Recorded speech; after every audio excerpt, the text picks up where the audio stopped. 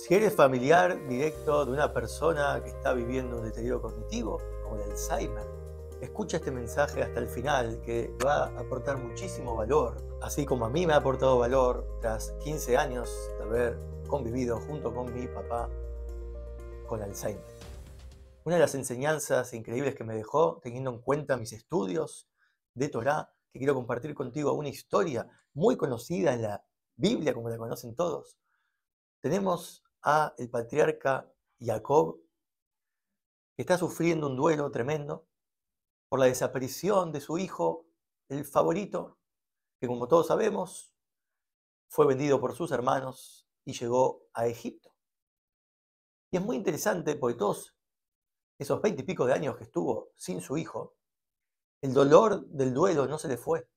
Los sabios interpretan que el Creador cuando nosotros perdemos, Dios libre, un ser querido, sufrimos y hacemos un duelo.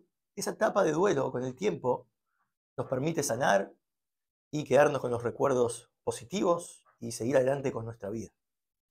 Es algo natural, algunos lo hacen más rápido, otros más lento, pero es un proceso que Dios diseñó para que todos podamos seguir adelante tras esa pérdida terrible. En cambio, Jacob no pudo superarlo y a pesar de todo su nivel espiritual elevado, y todos sus conocimientos, y seguramente tenía herramientas para sanar y hacer duelo mucho más rápido que cualquiera de nosotros, seguía sufriendo el dolor. ¿Y por qué?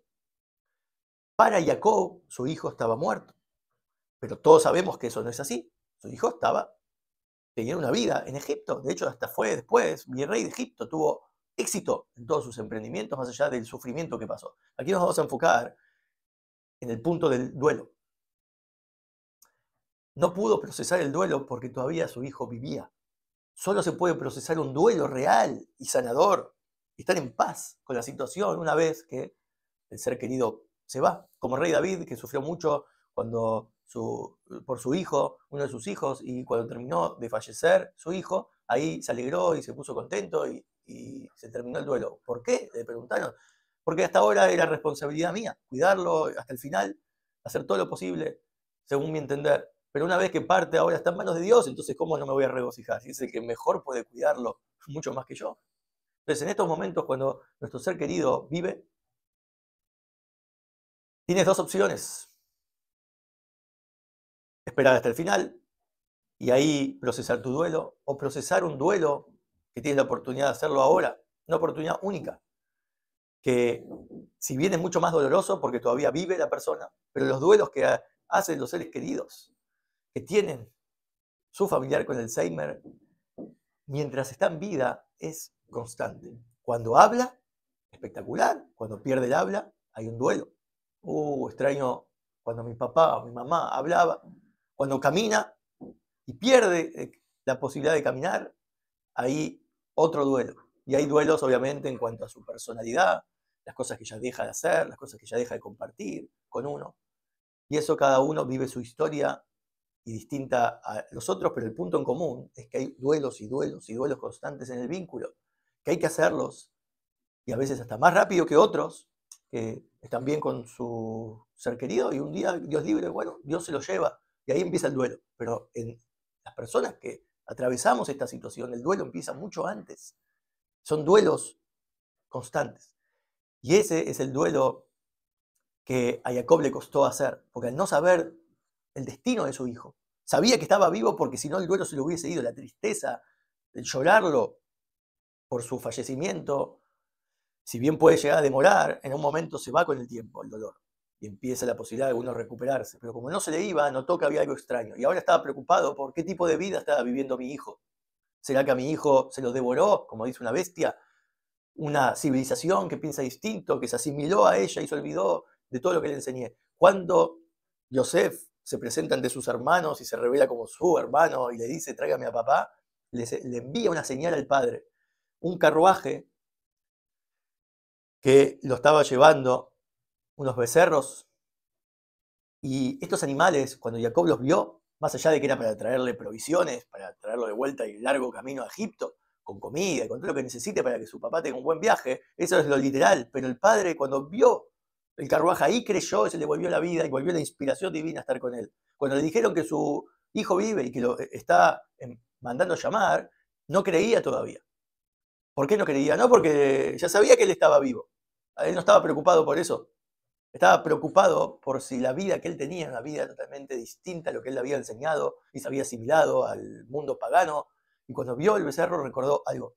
La última enseñanza que él estudió con su hijo fue acerca de una ley muy extraña que aparece en la Torá, que si se encuentra una persona fallecida y nadie sabe quién es y cómo murió, y no sabes si es tu ciudadano o es el ciudadano de otro lugar.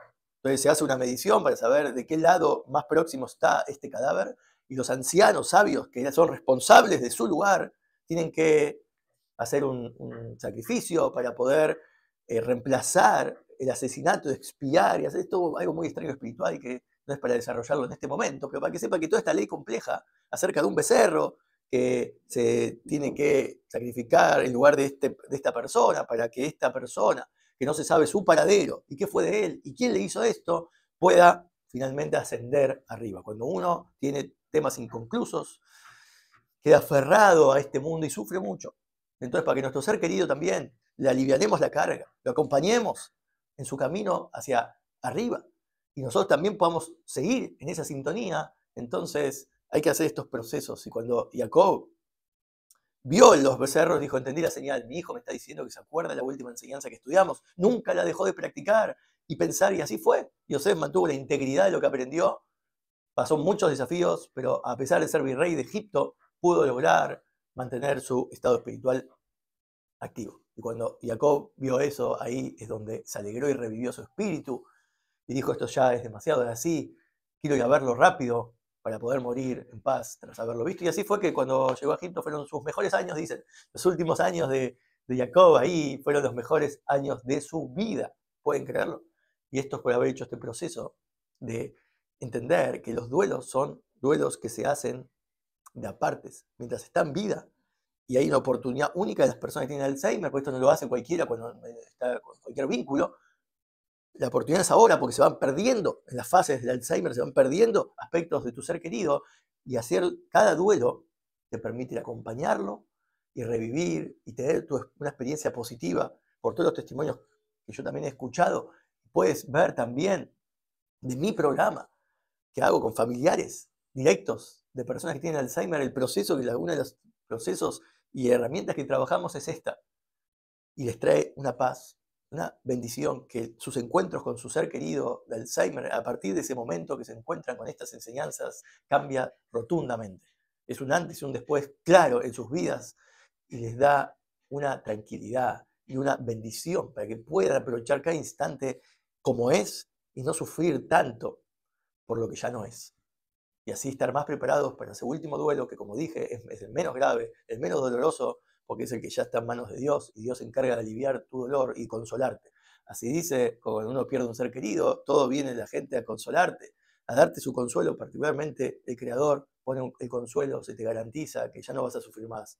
Y así está garantizado que en todos los sufrimientos que estamos viviendo en nuestra realidad son sufrimientos temporales y están terminando a medida que nosotros aprendemos como alumnos en esta escuela que Dios nos puso en ella. Y en este personaje que hoy encarnamos, nuestra escuela y enseñanza es aprender del Alzheimer y que nos sirva de maestría y pasar las pruebas, aprender cada una de ellas, estudiarlas y aplicarlas y aprender y pasar todas las pruebas para que haga valer la enfermedad que está teniendo nuestro ser querido las pérdidas que estamos sufriendo y los dolores. Si te cuesta hacerlo por tu cuenta, necesitas un acompañamiento y herramientas claras y un programa paso a paso, entonces ahí sí te pido que en la descripción de este video hagas clic en el enlace para que puedas agendar una videollamada gratuita conmigo y pueda mostrarte cómo aplica esto en tu situación. Que todos podamos ser consolados realmente con el último consuelo genuino el que ya sentir que todas las cosas que hemos atravesado, no solamente que fueron para bien, sino que realmente siempre fueron buenas. Shalom a todos.